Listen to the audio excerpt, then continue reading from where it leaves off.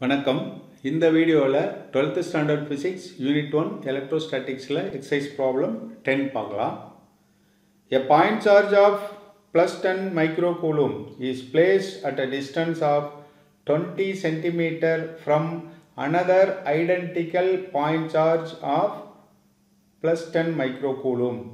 A point charge of minus 2 microcoulomb is moved from point A to B as shown in figure. Calculate the change in potential energy of the system. Interpret your result.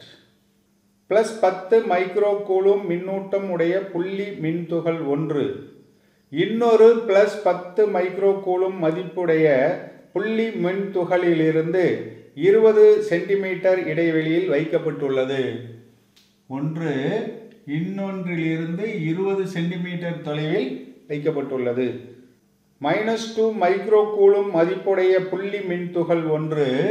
புள்ளி ஏயிலிருந்து பிக்கு நகர்த்தப்படுகிறது.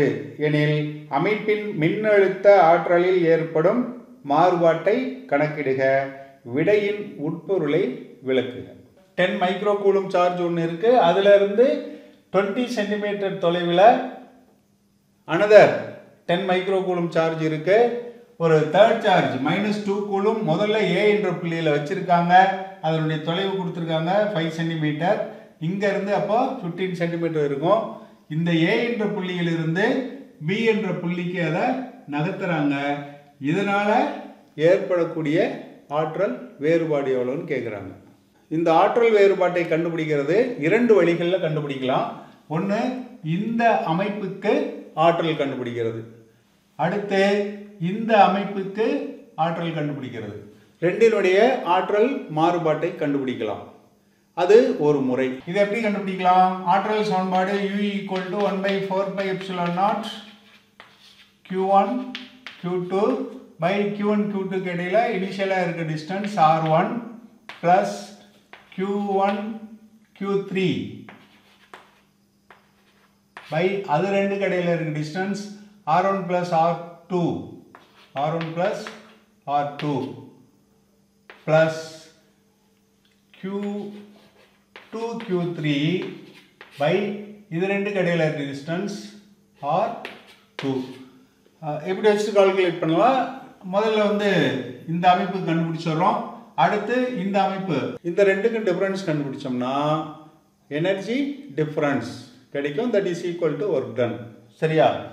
இன்னொரு method என்னன்னா இந்த சார்ஜை ignore பண்ணிட்டு இந்த ரெண்டு பாயிண்ட் சார்ஜோட பொட்டன்ஷியல் ஏல கண்டுபிடிக்கிறது அப்புறம் பியில் பொட்டன்ஷியல் கண்டுபிடிக்கிறது. பொட்டன்ஷியல் டிஃப்ரென்ஸ் கண்டுபிடிச்சி சார்ஜால் மல்டிப்ளை பண்ணோம்னா எனர்ஜி டிஃப்ரென்ஸ் கிடைச்சிரும். அதில் என்ன அட்வான்டேஜ் அப்படின்னு பார்த்தீங்கன்னா ரெண்டு டேர்ம் தான் வரும் கால்குலேஷனில் அது ஒரு ஈஸினஸ் மிஸ்டேக் குறையும். அடுத்து இதே ப்ராப்ளமை மாற்றி கேட்டாங்கன்னு வச்சுக்கோங்க. பொட்டன்ஷியல் கண்டுபிடிங்க. பொட்டன்ஷியல் டிஃப்ரென்ஸ் கண்டுபிடிங்க. எனர்ஜி டிஃப்ரென்ஸ் அப்படின்னா ஸ்டேஜஸ் நிறைய இருக்குது அதே டைமில் சிம்பிளாக வரும். ஸோ அந்த மெத்தடில் இப்போ நான் சால்வ் பண்ண போகிறேன் இந்த சம்மை சால்வ் பண்ணுறதுக்கு கொஞ்சம் ப்ரிலிமினரி ஒர்க்கு தேவைப்படுது. அதாவது ஆர் ஒன் ஆர் டூ தெரியும். இந்த டிஸ்டன்ஸ் தெரியும். ஆனால் R one dash R two dash தெரியாது.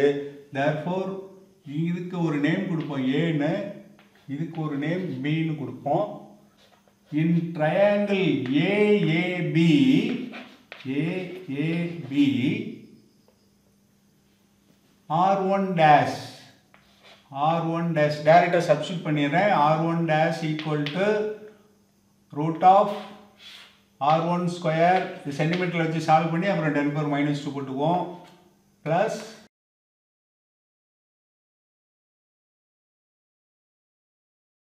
five root two centimetre. Substitute பண்ணும்போது மீட்டராக மாற்றிக்குவோம் சிமிலர்லி இன் திஸ் ட்ரையாங்கிள் அதாவது triangle ஏபிபியில் R two dash equal to root of fifteen square plus five square இதை சால்வ் பண்ணிங்கன்னா ஃபைவ் ரூட் டென்னு வரும்.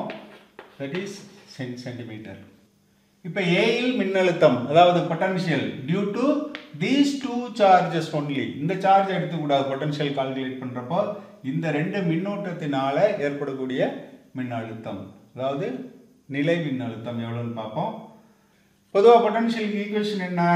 V is equal to one by four pi epsilon naught into Q one by R one plus Q two by R two இது general equation therefore V1 first இங்க இருக்க கான்ஃபிகரேஷனுக்கு V1 equal to இந்த value அப்படியே substitute பண்ணுங்க. 1 by 4 pi epsilon naught 9 into 10 power 9 into Q1 எவ்வளவு?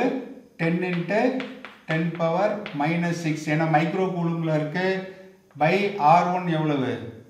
Five into ten power minus two plus once again இதுவும் ten தான். Ten into ten power minus six by R two வந்து fifteen centimetre fifteen into ten power minus two so இந்த ten பவரில் வெளியில் கொண்டு வந்தீங்கன்னா minus six காமனாக இருக்குது இங்கே ஒரு மைனஸ் டூ அப்போ மைனஸ் ஃபோராக மாறிடும். இங்கே வந்துச்சுன்னா நைன் இன்ட்டு டென் பவர் ஃபைவ்னு மாறும். இன்ட்டு இங்கே பாருங்கள் ஃபிஃப்டீனை எடுத்துக்கிட்டோம்னா இங்கே ஒரு டென் ப்ளஸ் இது தேர்ட்டியாக மாறும். Therefore it is equal to 9 into 10 power 5 into 40 by 15 equal to இது எவ்வளோ வரும். Three sixty by fifteen into ten power five therefore V one equal to இதை கேன்சல் பண்ண என்ன வரும்? டுவெண்ட்டி ஃபோர் வரும். Twenty four into ten power five volt இப்போ V two calculate பண்ணுவோம். V two equal to one by four epsilon எப்சிலான்ட்டுக்கு பதிலாக nine into ten power nine into Q one 10 into 10 power minus 6 by R1 இந்த R1 dash e இப்போ இப்போ இந்த charge இங்கே போயிட்டதுனால இந்த டிஸ்டன்ஸ் எடுத்துக்கணும். R1 dash எவ்வளவு? 5 root 2 into 10 power minus 2 plus அதே 10 into 10 power minus 6 by 5 root 10 into 10 power minus 2 simplify பண்ணோன்னா இங்கே நைன் இருக்கு. இங்கே வந்து டென் பை ஃபைவ் டூ இருக்குது இங்கே ஒரு டூ அப்போ டூவை காமனாக எடுத்தால் எயிட்டீன் ஆகிடும் முன்னாடி தெரியும் டென் பவர் ஃபைவ் வரும். இங்கே ரிமைனிங் என்ன இருக்கும்? One by root two plus one by root ten இருக்கும். Equal to eighteen into ten power five இந்த one by root two root two value வந்து கிளக்ஸ் டேபிளில் ரூட்ஸ் அப்படிங்கிற இதில் பார்க்கணும். இதுக்கு one point four one four இதெல்லாம் ஸ்டாண்டர்ட் வேல்யூ ஞாபகம் வச்சுக்கலாம்.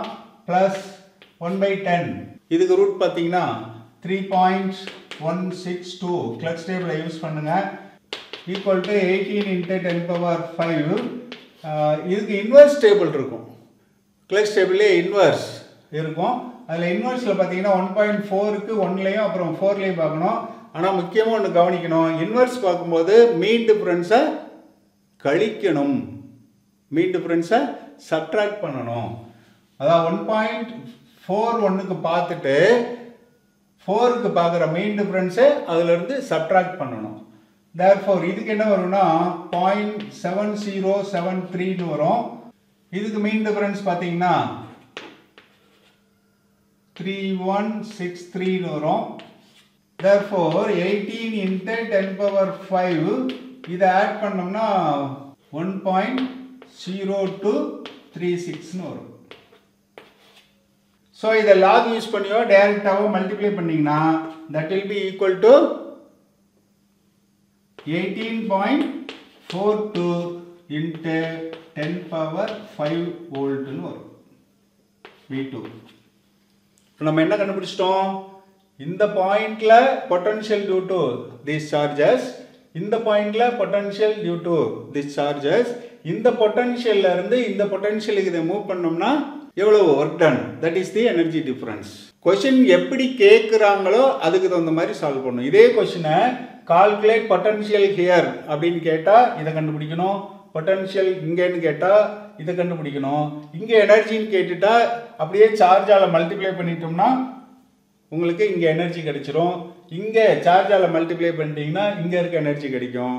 டிஃப்ரென்ஸ் கண்டுபிடிச்சிங்கன்னா எனர்ஜி டிஃப்ரென்ஸ் வந்துடும் இப்போ நான் எனர்ஜி கேட்டதுனால என்ன செய்ய போகிறோம் பொட்டன்ஷியல் டிஃப்ரென்ஸ் கண்டுபிடிச்சி எனர்ஜி கண்டுபிடிக்க போகிறோம் so potential difference V two minus V one equal to final potential என்ன? Eighteen point four two into ten power five அதை காமனாக வச்சுக்கலாம். Minus twenty four into ten power five volt இது மின்னழுத்த வேறுபாடு. இது எவ்வளோ வரும்? Equal to minus five point five eight into ten power five வோல்ட்டுன்னு வரும். ஸோ உங்கள் ஈக்குவேஷனுக்கு மார்க் இருக்கலாம். அதனால் அந்த ஈக்குவேஷன் எழுதிடுறேன். டெல்டா யூ அதாவது change in energy equal to delta V into Q delta V எவ்வளவு? Minus five point five eight into ten power five volt into charge எவ்வளோ இருக்கு?